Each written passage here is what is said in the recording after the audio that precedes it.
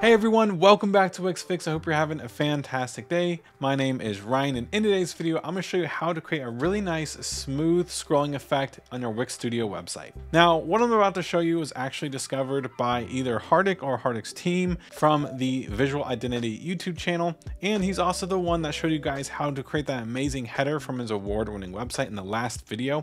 But he actually requested that I make a video showing off this new technique. So without further ado, let's go ahead and get started. Now, what do I mean by a smooth scroll effect? Well, when I scroll down the website and scroll back up, you can see just how reactive the website is. But let's say we want to go for an effect where when we scroll down the website and we scroll back up, it just has a nice smooth scrolling feel to it. In order to do that, we're actually not even going to be spending any time in the editor because what we're going to be using is custom code. So it is important to note if you want to use custom code on your website, you will need a premium plan in domain for the website, or at least a premium plan. Um, maybe not the domain, but I mean, obviously if you if you already have a premium plan, you might as well get a domain as well. And the code that we're going to be using will of course be linked in the description. It's on the Visual Identity website, so I will have that linked in the description. So for today's video, what we're actually going to do is head on over to the website dashboard, and then the left hand side, we're going to click on settings. Then we're to scroll all the way down to the advanced options and select custom code. Over here in the top right, we'll be able to add custom code.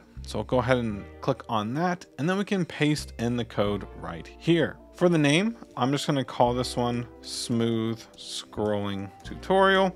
You can leave out the tutorial part and we are going to apply this to all pages or we can even choose a specific page if we only want this effect to be on one.